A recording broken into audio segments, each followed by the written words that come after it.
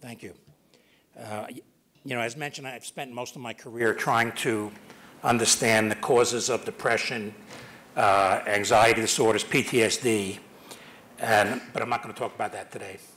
Uh, I'm, I'm going to talk about resilience. Uh, Going back about 25 or 30 years ago, uh, my colleagues and I, yeah, we should start there, uh, decided also to study resilience because we thought if we could understand uh, why individuals who uh, face serious trauma in their life were able to rise above it, in other words, they were resilient, that we could uh, develop new treatments for anxiety and depression and also help people uh, to become more resilient. So I'm going to summarize uh, some of the work that we've done. I got a 20-minute problem too, so I'll, there'll be some slides I go through uh, fast, and if we could make my talk available uh, to you know people who've come, I'm fine with that. So um, what I hope that you could take out of this lecture um, is that uh, psychological stress does affect the brain. Uh, we have begun to understand the, the mechanisms of human resilience. You can train yourself to become a more resilient person. And I, I hope that you find what I'm going to talk about may have implications uh, for your own life. The way we studied resilience, uh, I'm talking about my colleague Steve Southwick and I, was to identify individuals and groups uh, that were resilient. Uh, and we started out not knowing what it took to become a resilient person. So uh, we were learners uh, in the beginning. So we've, we've interviewed uh, hundreds of people that I think, you know, that if you knew about them, you would say they are uh, resilient. And through all that work, we developed essentially a prescription to become a more resilient person, and I'm going to share uh, that with you today. Th- These are some of the individuals that we learned from. Uh, This is Jerry White.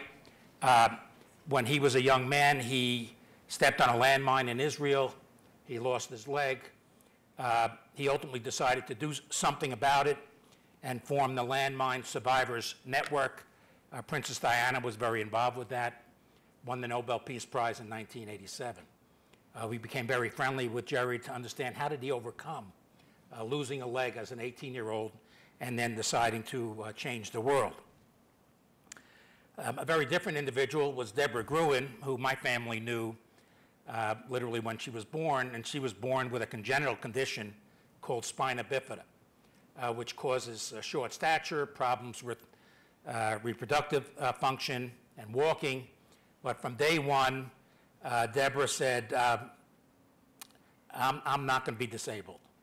And ultimately, uh, she became valedictorian of her high school, went to Yale, swam on the swim team, uh, won uh, not because she was going to win because she was disabled, but because she was a role model for the other uh, Yale swimmers. Ultimately, won gold medals, became a lawyer, and now is a prominent lawyer in New York City. Why was she so much able to do that? I'll mention a little bit about that going forward. We also learned a lot from the POWs from Vietnam, and this was a real honor for us uh, to get to interview and become friends with many of the uh, prisoners of war from uh, Vietnam. And these were about 800 individuals, most of them that were uh, shot down. Uh, They were fighter pilots. They were taken to the prison in Hanoi that was nicknamed the Hanoi Hilton uh, by Bob Shumaker. They were heavily tortured. Uh, And we wanted to understand why, when they got out, uh, were they so uh, successful. John McCain is somebody you're familiar with, but there are many other heroes from uh, that group. And these are some drawings by John McGrath that illustrates what they went through. Uh, Many of them were put in solitary confinement uh, for years. Imagine that, uh, where they weren't allowed to talk and they were kept in solitary confinement. And we asked them, you know, how did they uh, uh, deal with that? Well, one, one thing that they told us that subsequently led to some research that we uh, ended up doing, that when they were in solitary confinement and all they could do was think, their capacity to think, their capacity to do mathematics, um, to write books in their mind, uh, and, and do such things was markedly enhanced. Uh, one POW, uh, Galanti, told us that he got to the point that he could multiply 12 numbers by 12 numbers in his mind. He lost it when he got out, but it speaks to neuroplasticity. Uh, Bob Shumaker, who we became particularly friendly with, uh, built a house in his mind, room by room, cabinet by cabinet, et cetera. And when we met him, he was having a fight with his wife, Elaine, because she wanted to renovate the kitchen. And he said, no way, you know, that was not going to happen. So the solitary confinement was obviously very stressful, and they were physically uh, tortured. Uh, these are some examples. Uh, this uh, is the ropes, where it, frequently their shoulders were dislocated. Uh, when they were confined, they were physically tortured. And they were waterboarded. So this is waterboarding, uh, where you will, you're held in that position, water goes across your face, and you feel like you are suffocating. Now, how did they handle that? Now, one thing uh, that was very important to them is they developed a tap code. They weren't allowed to talk, but they, it was very important them, for them to communicate with, with each other, and this is the tap code. So if you tapped once, that meant row one, and then if you tap three times, that is the third letter in that row. Um, you, you could see there's no K, so a C uh, stood for K, and they were ahead of their time. So instead of spelling Y-O-U, they just used U. So they, they used abbreviations that now are used in text messages. But this goes back to the 1970s. This tap code is really important for their psychological survival. Everybody needs a tap code in life. Physical exercise was very important to them when they were in their cells, as it is, you know, now to be resilient. Some of the most defiant of the POWs were put in a specific part of the camp that was nicknamed Camp Alcatraz, and we were able to interview almost everybody from that uh, group. And most of the, those uh, POWs became very uh, successful. Some became admirals, uh, some became representatives in Congress. Uh, Samuel Johnson was represented from uh, Texas. Uh, Jeremiah Denton became a senator from Alabama, and, and so on. This is Bob Shumaker when he was released in 1973. This is a very famous picture. His son eventually became a neurosurgeon. So some of the things we learned from the POWs and literally the hundreds of other people that we interviewed were these factors. One is um, to have a positive attitude, to be optimistic. Optimist, um, optimism is very strongly related uh, to resilience. It is in part genetic, uh, but you, it can be learned.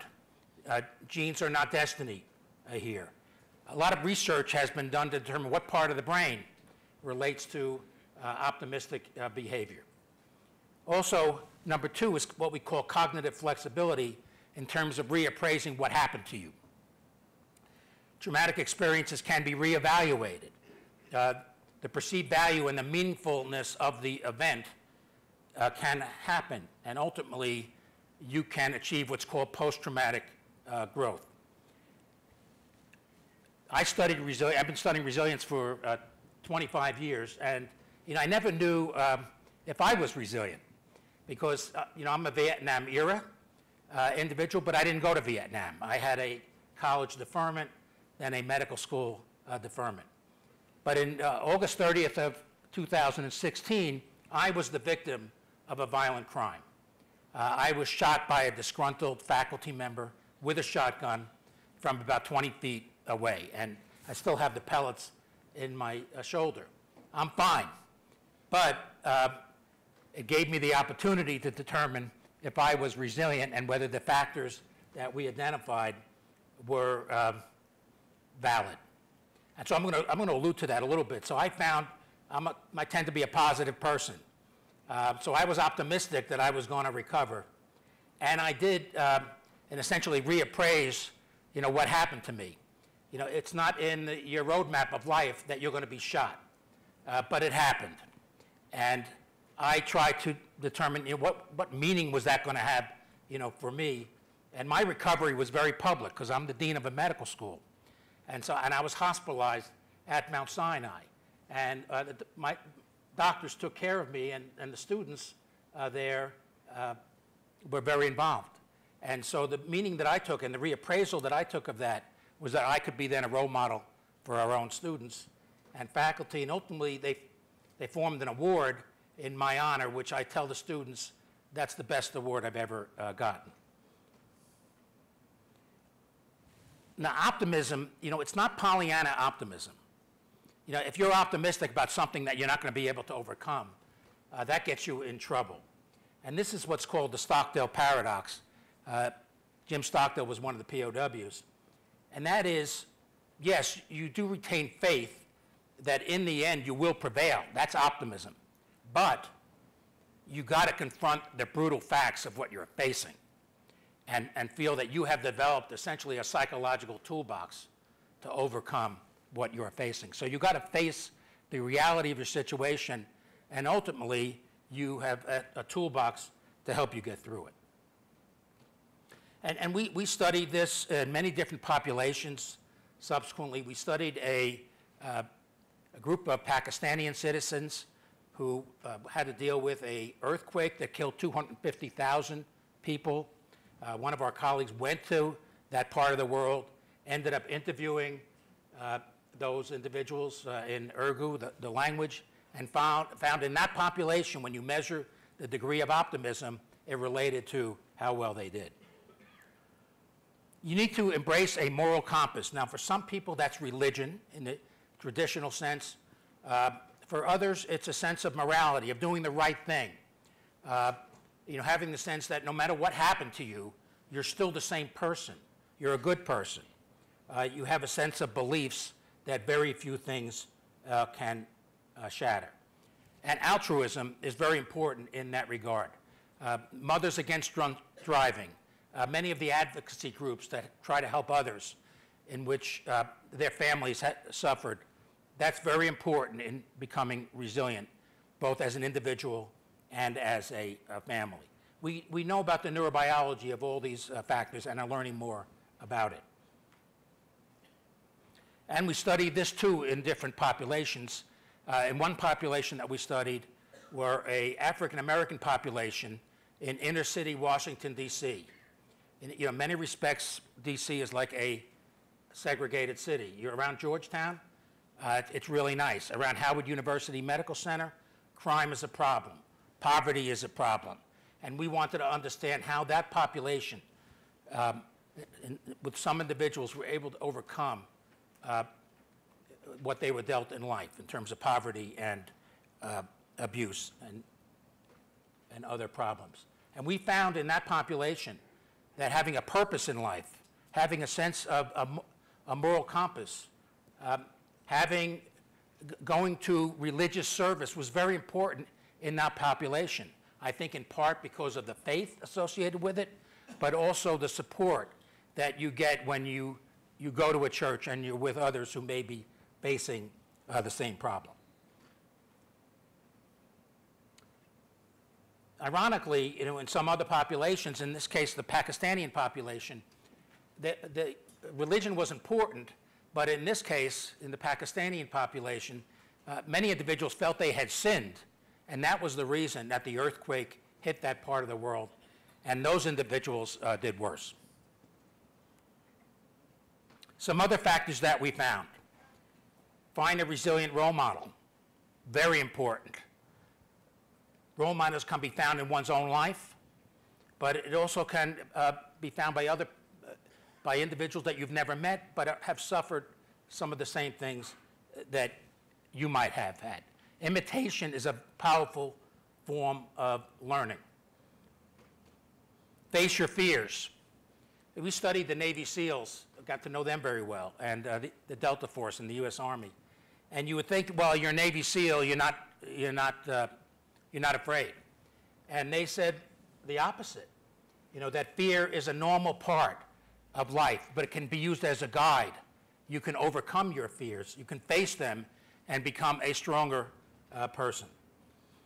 You become, already five minutes. Okay, so and self esteem is uh, very important. And we also found that active coping was very important. Don't be passive when you're facing difficulties in life. Establish a, a supportive uh, network. Uh, this was very important to me. I have a very strong uh, you know, family, but my medical school was very uh, supportive to me. You can't go through things alone. And uh, it's people that are important to you that can provide you uh, the real support. A safety net in times of stress is very important, and also to attend to physical well-being. And we studied, uh, you know, these factors in an objective way with many different populations, including veterans returning from Iraq and Afghanistan, and it basically confirmed that these factors were very important. And 9 and 10, you, you train regularly and rigorously in multiple areas to become a more resilient person. Change requires systematic and disciplined activity going forward, and it's important to recognize your own signature strengths. What are you good at, and how can you enhance that to face challenges in life? So this ultimately is, uh, in a sense, a, a roadmap to becoming more resilient. And in many respects, it starts uh, with a role model. And then these other elements come into play. And we have also found that using these factors can uh, help in treatment of certain psychiatric diseases uh, like depression. Uh, this is uh, something we published in Science uh, several years ago. A word about stress inoculation. Now, this work has had implications uh, for me and my family in terms of raising my children. So I have five children and now seven grandchildren. And in, in raising my five children, they, they said that I got tougher on them when I started studying resilience. And they're right. Because if you raise your children a stress-free environment, they don't, they're not prepared. So I did stress my kids. I didn't traumatize them, but I stressed them putting them in semi-dangerous situations. Uh, you know, we talked yesterday a little bit about nature and adventure, and uh, I did that. I, I had permission just to tell one vignette. Uh, when one of my daughters was 13, uh, we were on a hike, we were in a mountain. Uh, it was sort of dangerous. Uh, wildlife was there. A storm came in, and she said to me that she despised me. came out of her soul, okay? well, she's now, you know, 35, a mother of two, and, uh, you know, what does she do? Uh, in winter, she goes to Yellowstone. So th this had an impact on her. But if I hadn't intervened in a sense, you know, maybe she was going to be scared going forward. So we know a lot about the biology of resilience. I, I can't go into that, but let me just say we, we know about the pathways, we know about the neurotransmitters, and I'll end by just uh, mentioning some of the studies we're doing to take advantage of that. So we, we found uh, that one particular uh, neuropeptide called, called neuropeptide Y, which is found in everybody's brain uh, and has anxiolytic properties, uh, might be, have a possibility for new treatment of anxiety, depression, and uh, PTSD because we found it went up under stress and helped mitigate stress. And so we, over the, the last literally 10 years, have been working to develop neuropeptide Y as a treatment. So we've had neuropeptide Y made. Um, we have begun to uh, give it neuro, uh, intranasal to get it past the blood-brain barrier. And uh, along with some collaborators who have given neuropeptide Y to rats uh, who were under stress, and it was shown to mitigate the anxiety and stress in these animals. We have begun a clinical trial uh, in patients with PTSD where we have, we're giving neuropeptide Y. So we have permission from the FDA to do this. We're going to continue this, uh, uh, this trial and see if we can develop it as a new treatment and perhaps to enhance uh, resilience. Ketamine was mentioned. Um, you know, we developed ketamine as an antidepressant. It's now marketed as uh, Spravato, but now we're also studying it uh, in PTSD and possibly as a prophylactic against uh, stress-induced depression and PTSD. And if it- people have questions about it, I'll let you know, but we are actively giving ketamine uh, to patients with PTSD, have had one positive trial, and uh, now we're also testing it if we give it prior to stress, whether it will prevent the effects of stress. So let me end uh, with this. The goal of my research and many other researchers who are studying resilience is to understand, and this is from 9/11, why, you know, how can this fireman be going up when everybody else is going down? You know, what is in him uh, to be able to do that? This is from Katrina. Uh, And you can see these volunteers going to save people at great personal risk to themselves. And now New Orleans may be facing something Uh, similar. And, you know, this is a longer story, but if you understand human resilience at the individual level, what does that mean about development of resilient communities, resilient cities, and maybe even resilient nations? And at some point, we could talk more about that. Thank you very much.